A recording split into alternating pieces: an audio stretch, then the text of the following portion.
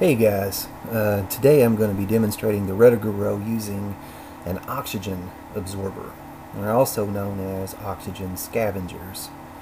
Um, the contents of them are pretty much similar to like say a hand warmer or a foot warmer.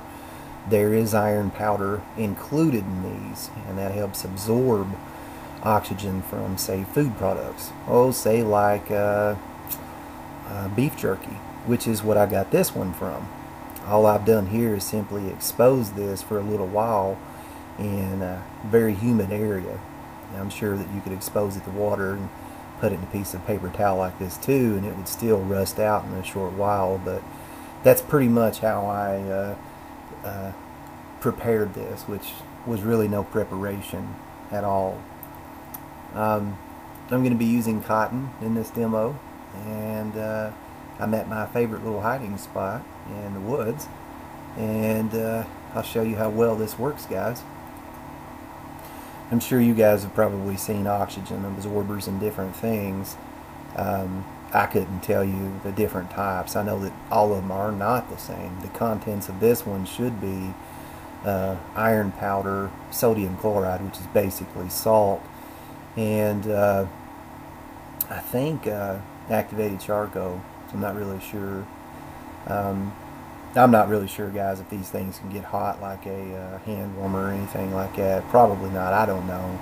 I guess they could. Um, I didn't notice it when I took it out. I just got this one out of uh, some packaging. You can see here that I have an ember already. It doesn't take long. This stuff works really well. It's just basically rust, iron oxide, once uh, moisture and oxygen hit it. I'm to blow this into a flame. What I was uh, saying a few moments ago, guys, was uh, there are lots of uses for oxygen scavengers or oxygen absorbers, if you want to call them that. Uh, people use them in canning and all kinds of things. So you know they have their their uses. They're definitely uh, a good thing to have.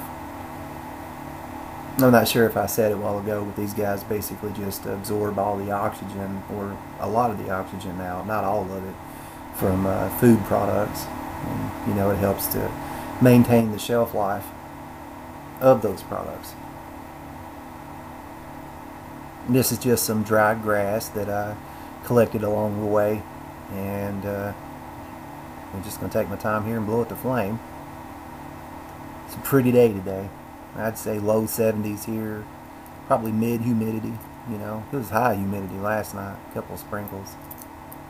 But um, beautiful day today.